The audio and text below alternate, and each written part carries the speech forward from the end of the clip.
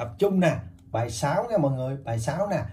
À, một cái cửa hàng A nhập vào một số lượng áo với giá vốn là 300 ngàn đồng một cái. Thì các bạn biết nhập bao nhiêu cái chưa à chưa. Gọi ít là gọi ít là cái áo.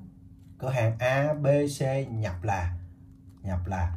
Thì áo mà áo thì là một cái hai cái ba cái bốn cái năm cái vậy là ít thuộc n sao?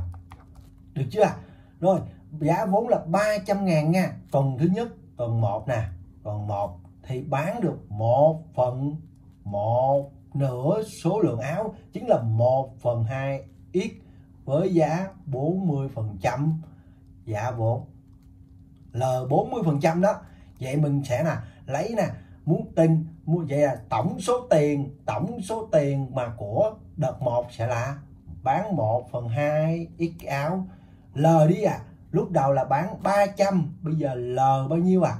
L là 1 cộng 40 phần phần trăm. Đó. Có nhiều giáo viên ở đây người ta ghi là 1,4 cũng được hoặc là 140 phần trăm cũng được nha tùy vào các bạn. Được chưa? Lần thứ hai lần thứ hai tuần thứ hai nè cửa hàng bán được 3 phần tư.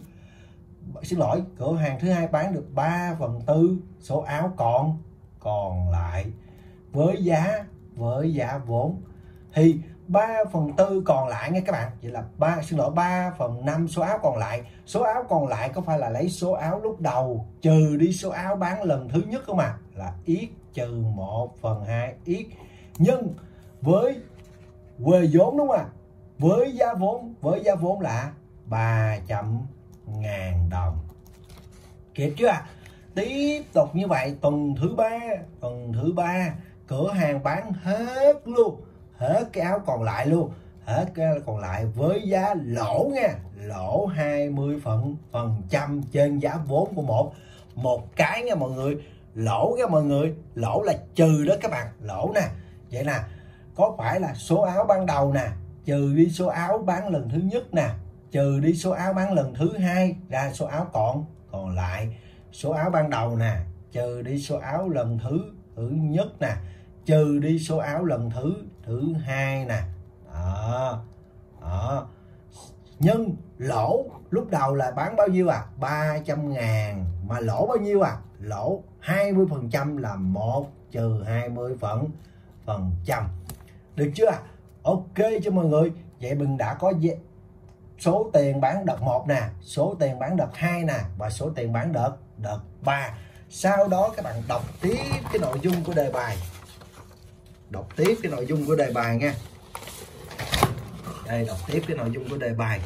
Sau khi thống kê nè sau khi thống sau khi thống kê à, cửa hàng thu lợi nhuận từ việc bán hết số áo trên là 4,80 à, 4 triệu 800 ngàn đồng.